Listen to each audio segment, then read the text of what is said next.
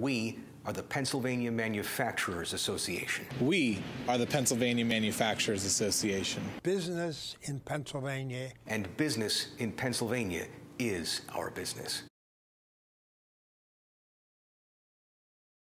Well, Joanne writes in What is happening with the legislature to allow residential customers to opt out of the smart meter? Well, um, you know, in 2008, uh, smart meters were required to be deployed by all electric companies across the, the Commonwealth in three different ways. If a customer one at one upon request, they're supposed to put one in. In newly constructed buildings, and since 2008, there's obviously been a lot of new, newly constructed buildings, and I assume homes at the same time and to all other customers over the period of not more than 15 years. So, uh, 2008 to now, um, it, depending on where it is, is, is, six years. So you get nine more years that that's going to go in across. Um, what we have found is PPL, uh, which is here in central and somewhat eastern Pennsylvania, deployed advanced meters almost 10 years ago.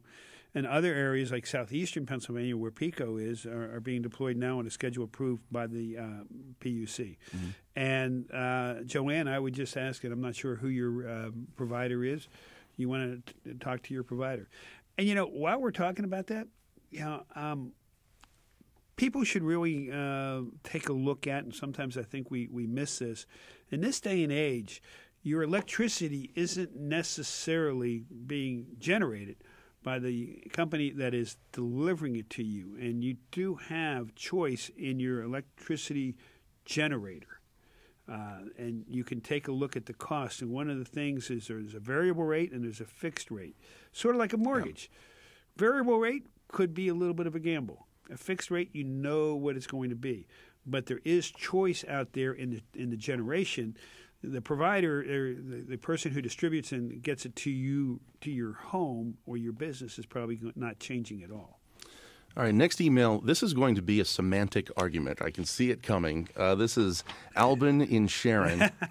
and uh, Albin writes in Mr. Corbett, I would like to know why you say you did not raise taxes.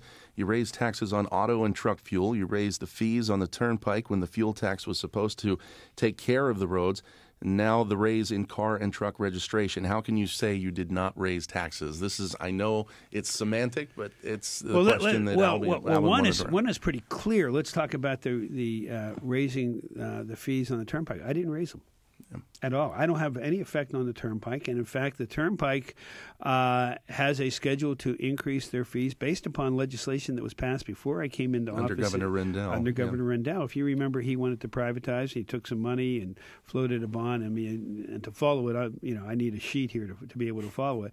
But those fees are automatically uh, put in place before I ever walked into office. So, uh, Albin, I hope you'll agree with me on that one. When it comes to the other two, yes, it is going to be semantic. First off, um, we have a or had a cap on our tax. We had a tax on um, the um, wholesale price of gasoline. It was back in the 1980s, um, and in the 1980s, they said we're going to put a cap on it. So because gas will never go higher it, than a dollar twenty-five. That's exactly sure. right. Yeah. That's exactly right. So there was a percentage, and I forget what the percentage was on wholesale gas.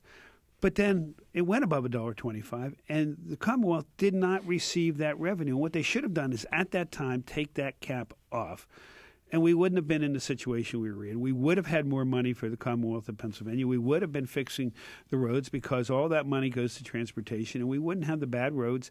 And uh, as I say, the 10,000 miles of roads that needed to be repaired and the 6,000 bridges that needed to be repaired for the 1.5 million children that get on 31,000 school buses on the roads of Pennsylvania. And by the way, you in the in the motoring public. The other day, I was in a situation talking to people about it, and I said, "How many of you in this room?" And there were about 200 in the room have uh, had to have your car realigned because you hit a pothole or had to have a tire replaced. And almost everybody put their hand yes. up. And there is a cost to that.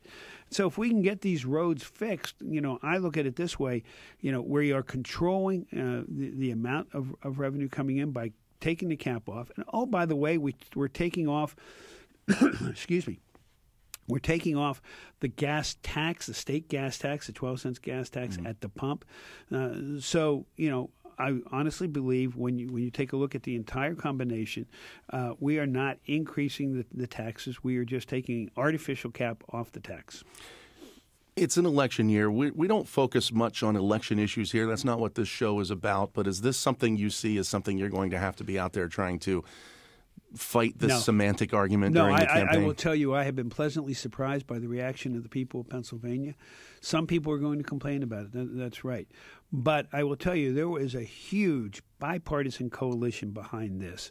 Um, we actually did some photos the other day for all the different coalitions that were involved. Coalitions from the handicap with access uh, to highways and, and roads, uh, the bicycle enthusiasts. That you know, I have a pin that's an iridescent bicycle now. Um, the the the AAA I think was there. Um, labor, industry, um, Republicans, Democrats, um, businesses throughout the Commonwealth of Pennsylvania, municipalities throughout the Commonwealth of Pennsylvania, the counties, the boroughs, the townships were all there. Um, and what we have found, contrary to what was being argued when this bill was being discussed, very little going on of opposition on this. People were saying, when are you going to start fixing the bridges? yeah. And as you know, the Secretary of Transportation has a bridge package out there of 600 bridges to start working on. As soon as we get into the into the construction season, you're going to see the, the roads being worked on. Mm-hmm. I would just ask everybody when you see all those orange cones and barrels, have patience. It's a temporary inconvenience for a permanent improvement. We have some more emails, and I have some issues I haven't gotten to, but we're out of time for Ask the Governor, the radio edition.